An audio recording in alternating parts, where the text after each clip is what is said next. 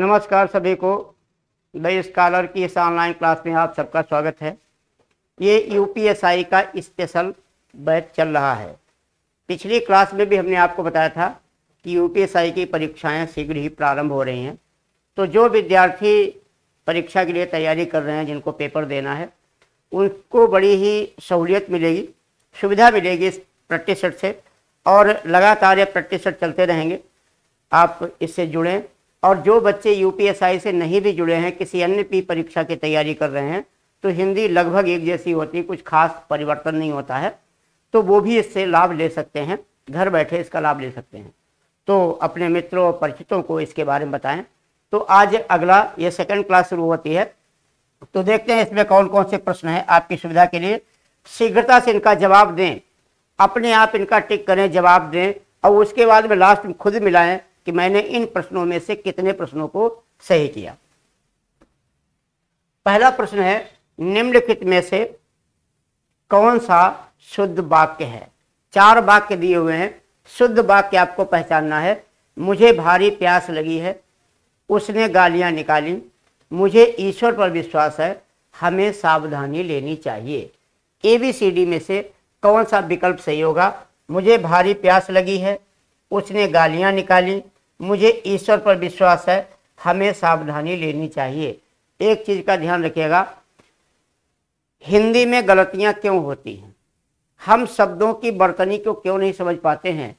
इसके पीछे मुख्य कारण हमारा अपना खुद का उच्चारण। हम अपनी दैनिक बोलचाल की भाषा में जिस प्रकार के शब्दों का उच्चारण करते हैं, हमको वही बर्तनी समझ में आती है कि इसका यही सही होगा। लेकिन शुद्ध शब्दों का उच्चारण करें तो ये समस्याएँ नहीं आएगी। तो इसमें से सी विकल्प सही होगा। मुझे ईश्वर पर विश्वास है। तो मुझे भारी प्यास शब्द भारी नहीं हो सकता है। उसने गालियाँ निकाली शब्द नहीं हो सकता है। हमें सावधानी लेनी चाहिए शब्द नहीं हो सकता है। इस प्रकार से इसका सी विकल्प सही है। अगला है प्रश्न, पाकशाला किस प्रकार का शब्द है? ये शब्द रूढ़ है, यौगिक है, योग रूढ़ है या इनमें से कोई नहीं। रूढ़ वे शब्द होते हैं, जो अविभाजित होते हैं, यौगिक वे शब्द होते हैं, जो दो शब्दों के योग से बनते हैं, और योग रूढ़ वे शब्द होते हैं, जो दो शब्दों के योग से बने होते हुए भी एक निश्चित, एक विशेषण को प्रकट करते हैं। तो पाकशाला, पाक माने भोजन होता है, भोजन बनाने का घर। तो यह एक यौगिक शब्द है, बी ऑप्शन सही है। ध्यान दीजिएगा रूढ़ शब्द का निश्चित अर्थ होता है। यौगिक का सामान्य अर्थ होता है और योग रूढ़ शब्द का विशेष अर्थ होता है। तो सामान्य अर्थ दे रहा है या निश्चित अर्थ दे रहा है या विशेष अर्थ दे रहा है इससे रूढ़ योगी एक रूढ़ की पहचान हो जाती है। अगला प्रश्न है, जहाँ एक ही शब्द के अनेक अर्थ व्यंजित हों, वहाँ कौन सा अलंकार होता है? जहाँ एक ही शब्द के अनेक अर्थ प्रकट हों या व्यंजित हों या व्यजित हों, वहाँ कौन सा अलंकार होता है? यमक, उपमा, श्लेष या रूपक। एबीसीडी में से क्या इसका विकल्प सही होना चाहिए। तो एक अर्थ के कई अगर हैं तो वहाँ पर श्लेष हो जाता है। श्लेष का मतलब होता है चिपका हुआ। चिपका हुआ। यानी एक शब्द के कई अर्थ। जैसे आपने पढ़ा होगा कि सुवर्ण को खोजत फिरत, कवि व्यभिचारी चोर। यहाँ सुवर्ण के तीन अर्थ हो जाते हैं। इस प्रकार श्लेष अलंकार इसका अर्थ होगा। आगे है, पानी का एक अर्थ है जल। अब पानी का दूसरा अर्थ क्या होगा? ध्यान दीजिएगा, कुछ शब्द ऐसे होते हैं जिनका एक ही अर्थ होता है, वे एकार्थी शब्द होते हैं, अब कुछ शब्द के एक से अधिक अर्थ होते हैं, उन्हें अनेकार्थी शब्द कहा जाता है, और अनेकार्थी शब्दों का प्रयोग कहाँ किया जाता है? श्लेष अलंकार में किया जाता है। एक शब्द के अनेक अर्थ। तो एक अर्थ पानी है, दूसरा बहना, झरना, सम्मान, अमृत। एबीसीडी में से क्या सही होगा? शीघ्रता से इसके बारे में बताएँ। तो पानी का दूसरा अर्थ मान या सम्मान होता है। तो यहाँ पर सी विकल्प इसका सही होगा। अगला है, इनमें से कौन सा मुहावरा नहीं है?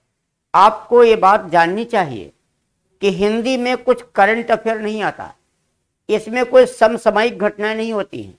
वही पुराने कवि हैं, लेखक हैं, रचनाएँ हैं, वही लगभग शब्दावलियाँ हैं। यहाँ पर प्रश्न पूछने का ढंग बदलता रहता है। इसलिए ध्यान रखिएगा, हिंदी हमें पढ़नी नहीं है, हिंदी हमें समझनी है, सीखनी है, याद नहीं करना है, याद करने से कुछ नहीं होगा। तो आज तीन का सांप उल्लू बनाना, कमर टूटना या दूर के ढोल सुहावने। आपको मुहावरा में और लोकोक्ति में फ़र्क पता होना चाहिए। यानी वे कौन से वाक्यांश होते हैं जिन्हें मुहावरा कहा जाता है, और वे कौन से वाक्यांश होते हैं जिन्हें लोकोक्ति कहा जाता है। तो लोकोक्ति और मुहावरे में क्या फ़र्क है, ये चीज़ आपको समझना है। तो यहाँ डी आपसे सही है। दूर के ढोल सुहावने होते हैं, ये लोकोक्ति है, शेष सभी मुहावरा है। अगला प्रश्न है जो हर समय दूसरों की बुराई करता हो। ये भी कई बार प्रश्न आ चुका है, जो हर समय दूसरों की बुराई करता हो, उसे क्या कहते हैं? आलोचक, परनिंदक, सर्वनिंदक या छिद्रान्वेषी। कई बार लगता है कि विकल्प एक जैसे हैं। यानी दूसरों की बुराई करता होगा, वो परनिंदक भी हो सकता है, सब सर्वनिंदक भी हो सकता है, छिद्रान्वेषी भी हो सकता है। कैसे पता करें? तो पता करते हैं यहाँ से, जो हर समय दूसरों की बुराई करता हो। अगर ये होता, दूसरों की बुराई खोजता हो, तब वो छिद्रान्वेषी होगा।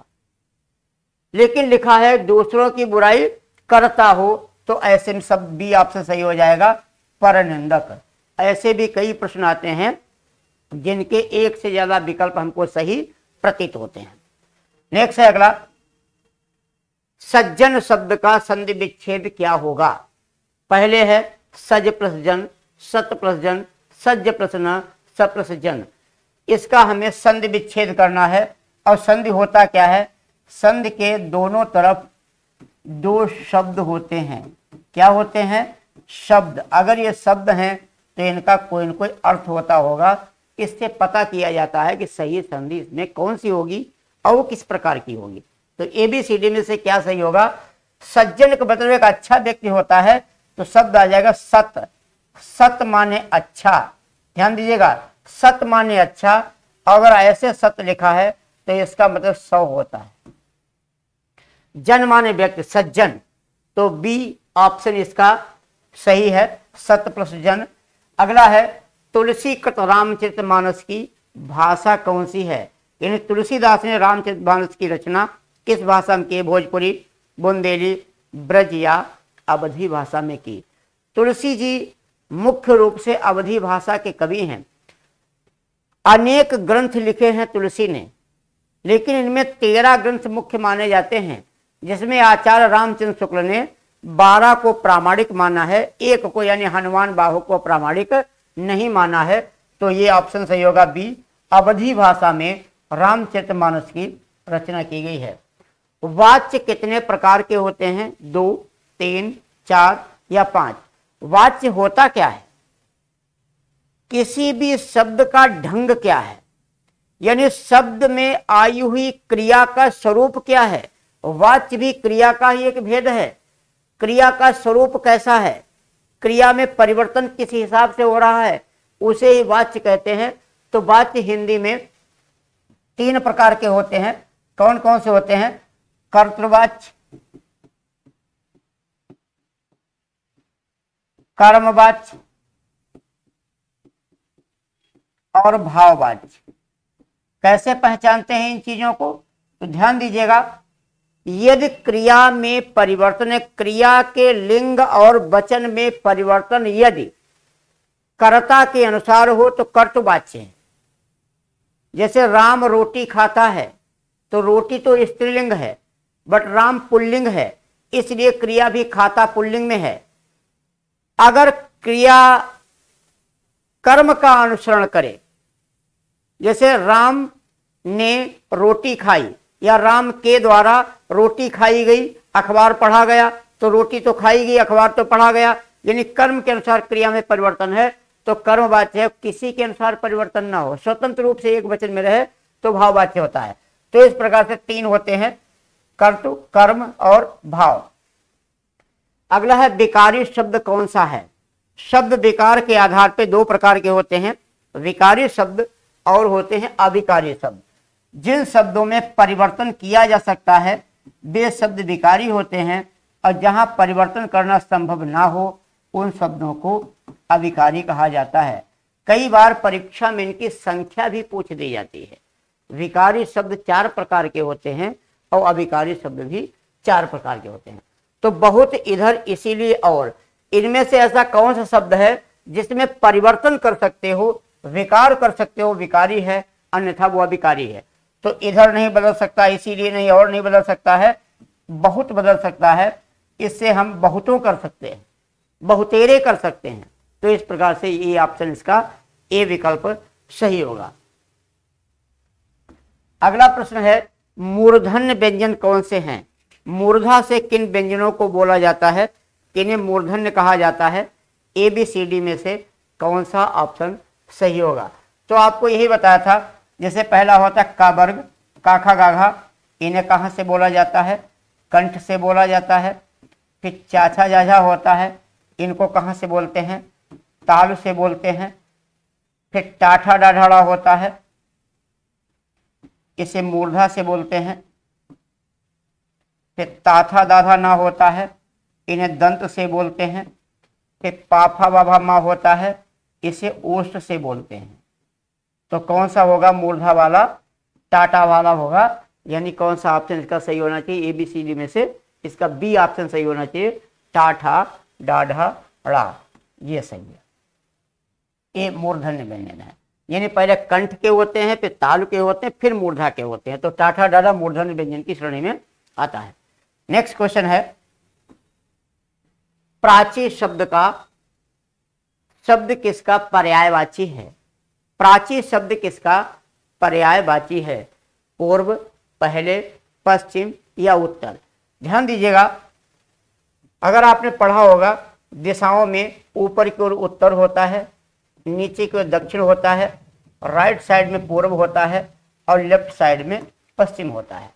उत्तर, दक्षिण पूर्व और पश्चिम। इनके असली नाम है, उत्तर को कहते हैं उदीची,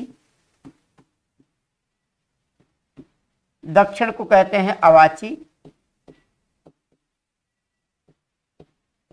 पूर्व को कहते हैं प्राची, और पश्चिम को कहते हैं प्रतीची। तो कौन सा ऑप्शन सही होना चाहिए? पूर्व यानी पहला ऑप्शन होना चाहिए। प्राची शब्द पूर्व का पर्यायवाची है, यानी प्राची पूर्व को कहते हैं। अगला प्रश्न है, मदन तेज़ी से दौड़ा। वाक्य में क्रिया विशेषण का प्रकार कौन सा है? क्रिया विशेषण के कई प्रकार होते हैं। क्रिया विशेषण एक अविकारी शब्द है, जो किसी क्रिया की विशेषता बताता है। तो इसमें रेत है, या काल है, या स्थान है, या परिमाण है। तो मदन तेज़ी से दौड़ा। ये एक रीति है। ए ऑप्शन सही है। रीत मीन्स होता है तरीका। आपका कार्य करने का जैसे रोहन जो है दौड़ के पड़ता है, बैठ के पड़ता है, उसके तरीके हैं, रूप हैं, नियम हैं। तो पहला रीति बात सही होगा। इसके बाद अगला आता है, देवासुर में कौन सा समास है? तत्पुरुष द्वंद्व दिग या बहुब्री समास के भेद कितने होते हैं समास कितने प्रकार का होता है, उनको देखना है और समास के बारे में भी पढ़ना है। तत्पुरुष समास क्या होता है, अव्यय भाव क्या होता है, बहुब्रीही क्या है, द्वंद्व क्या है, अगर ये चीज़ें हमने पढ़ी हैं तो हम उसे आसानी से पता कर सकते हैं। अगर हम इसका विग्रह करें तो हो जाता है देव और असुर, राक्षस यानी देव और असुर। तो जहाँ दो शब्दों के बीच और आ जाए, या आ जाए, अथवा आ जाए, ऐसी स्थिति में कौन सा द्वंद्व समास हो जाता है? अर्थात यहाँ बी ऑप्शन इसका सही होगा। अगला, हिमाद्री किसका पर्यायवाची है? थोड़ा सा हो सकता है कठिन शब्द आपको लगे तो हिमाद्र शब्द हिमांशु, हिमालय, हेमंत या हिम। इनमें से किसका पर्यायवाची? हेमाद्री बनेगा। अगर हम इसको विच्छेद करके देखते हैं तो ये हिम प्लस अद्रि होता है। ये दीर्घ स्वर संधि है। हिम प्लस अद्रि, दोनों आ आ मिलके बड़ा बन जाते हैं। दीर्घ स्वर संधि और हिमांश हिमाद्री हो जाता है। तो Himansh A, B, C, D में से क्या ऑप्शन सही रहेगा? तो ध्यान दीजिएगा, ये हिमाद्री, हिमालय को कहते हैं। हिमालय का पर्यायवाची हेमांश मीन्स चंद्रमा हो जाता है। हेमंत एक ऋतु है और हिम बर्फ़ को कहते हैं। तो हिमालय किसका पर्यायवाची रहेगा? ये हिमालय का पर्यायवाची रहेगा। तो इस प्रकार से अगर हम अभ्यास करते रहें तो प्रश्न आसान हो जाते हैं हमारे लिए। तो ये आपको कैसा लगा? कमेंट में इसको अवश्य बताएँ। अपने मित्रों, दोस्तों को शेयर करते रहें। और खूब अभ्यास करते रहें। इसी प्रकार से और भी प्रश्न आपके सामने आते रहेंगे और भी क्लासेस होती रहेंगी। इसके अलावा भी कभी कोई अलग से आपको भी कुछ पूछना है, उसे भी आप कमेंट करके पूछ सकते हैं। आपका जवाब अवश्य दिया जाएगा। तो बहुत ही शुभकामनाएँ हैं और फिर आपसे मुलाकात होती है। तब नमस्कार, जय हिंद।